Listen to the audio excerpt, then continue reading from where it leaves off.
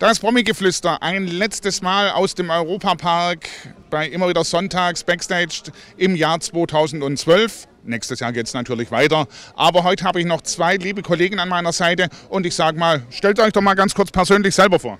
Ja, ich bin Kati, ich bin vom Promipool und wir haben viel Spaß beim Schlagen. Und ich bin Sandro aus der Schweiz und Programmchef und Programmleiter von FM1 Melodie.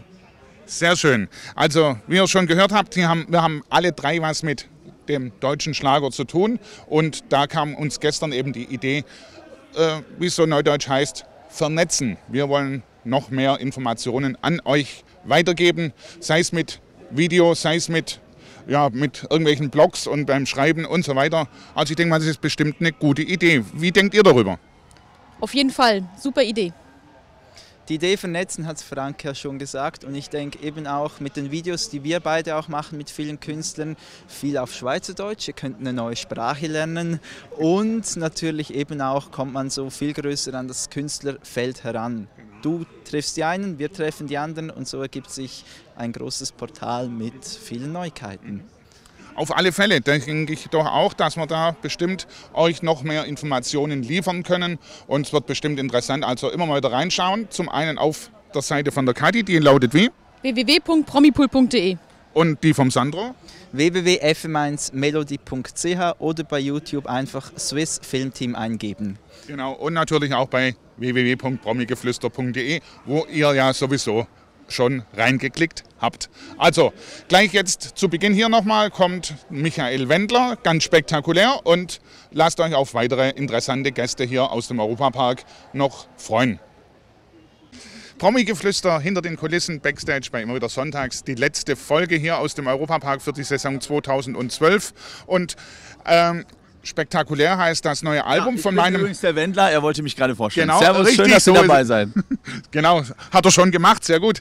Ähm, zu früher Stunde, sagst du vorhin gerade eben, das ist ein bisschen Problem für dich. Du bist jetzt nicht der Morgenmensch. Also ich bin kein Frühmensch und das ist immer sehr schwierig für mich, morgens früh aufzustehen. Wer kennt das nicht, ja? Ich bin eben nachts immer sehr aktiv und mein Körper hat sich dann auch schon daran gewöhnt, immer mitten in der Nacht hellwach zu sein. Äh, Und dann musst du ja immer noch nach Russ. Also Russ liegt ja, vielleicht wissen das die meisten nicht, am Arsch der Welt. Und wir sind gerade hier so, ähm, obwohl die Leute natürlich alle total lieb sind. Also es lohnt sich immer wieder nach Russ zu kommen. Die Stimmung hier ist ja wirklich Bombe, muss man sagen. Aber der Ort liegt wirklich weit vom Schuss. Ich wohne ja im Zentraldeutschland, kann man ja so sagen, im Ruhrgebiet. Und da ist es besonders schön.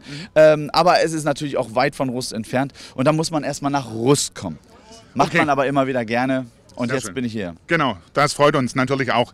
Aber du hast ein neues Album, spektakulär, haben wir gerade schon erwähnt. Heißt es, hat den Titel, was ist so das Spektakuläre bei der neuen CD, bei dem neuen Album?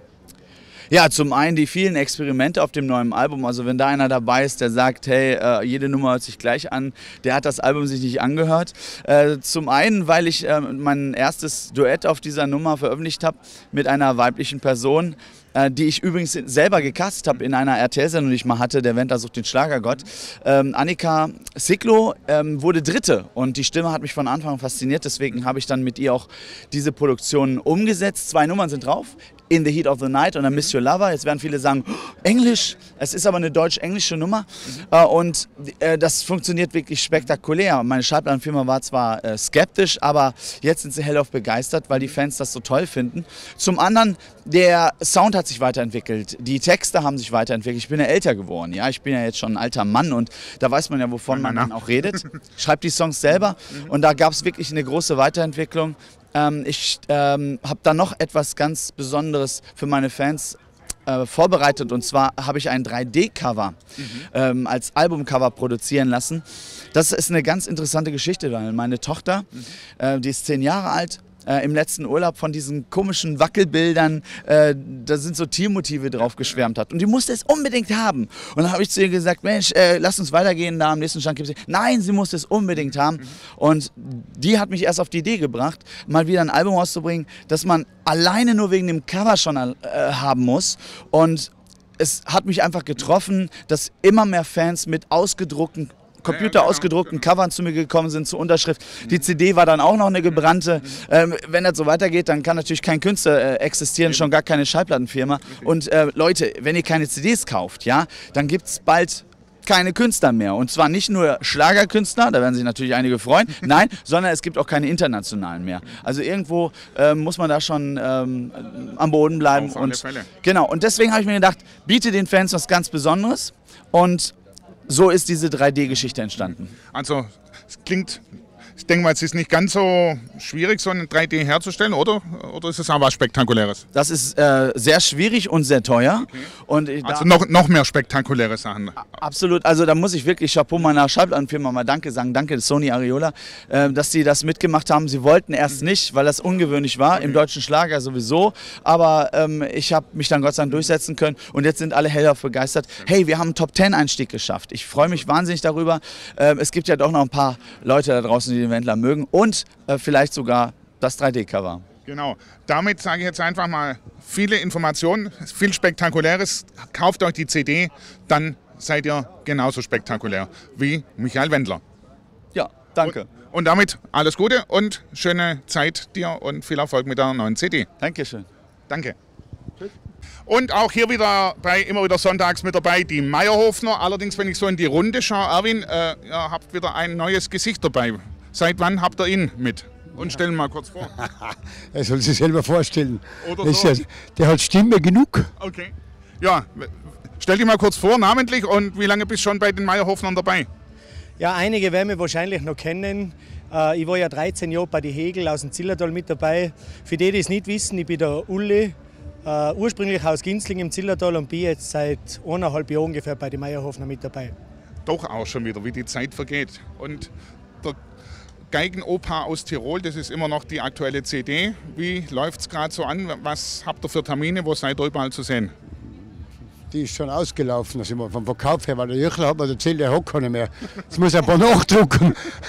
Nein, jetzt, ja, jetzt sind wir mal da bei der Sendung und äh, dann sind wir unterwegs auf die Bühnen durch Österreich und dann Südtirol ein bisschen und in Deutschland, Bayern und so weiter.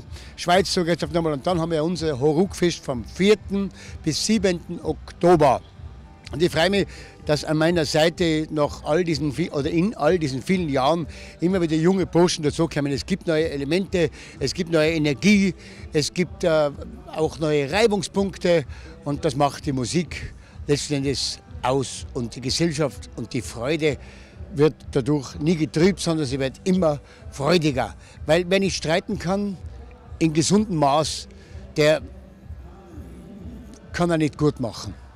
Und ich freue mich. Und der Geigenoper natürlich ist auch so ein ganz, soll ich sagen, gefälliger, origineller Titel, der nicht erfunden ist, sondern einfach passiert ist und gelebt. Also, und damit sage ich jetzt euch mal noch einen schönen Sonntag. Viel ge- gutes Gelingen für euer großes Fest im Anfang Oktober Und vom 4. bis 7. vom 4. bis 7. genau, jetzt haben wir es nochmal ganz genau, 4. bis 7. Oktober ist auch wieder der Almabtrieb, gell? Ja, ja, das ist da, weil das machen sie eigentlich deshalb, weil wir es fest haben. Da. Die Bauern warten da immer. Das ist eine gute Kombination. nee, ich habe es ja schon mal erleben dürfen. Ich weiß doch, wie es ist. Also tolle Sache. Wer wirklich noch Zeit findet, wirklich hingehen, es lohnt sich. Ja, auf alle Fälle. In der Erlebnisszenerei in Meierhofen mit vielen Gruppen. Wir haben einen Marc Becher dabei, wir haben die Zeltbabum dabei, die jungen Baldauer dabei. Großes Programm. Ja, ja, also es geht über drei Tage durch und auch traditionell haben wir immer, immer am Donnerstag unsere Gipfelmesse, so Kerzes für einen Tiroler äh, ohne Heiligenschein. Und weißt du, was das heißt? Bist du ein Tiroler, bist du ein Mensch. Wo bist du her? Ich bin Baden-Württemberg. Bist du ein Tiroler, bist du ein Mensch, bist du ein Baden-Württemberger? Bist mein Freund. Gut, prima, das sind wir. Also, viel Spaß euch. Danke euch. Bis bald. Macht's gut. Servus. Servus.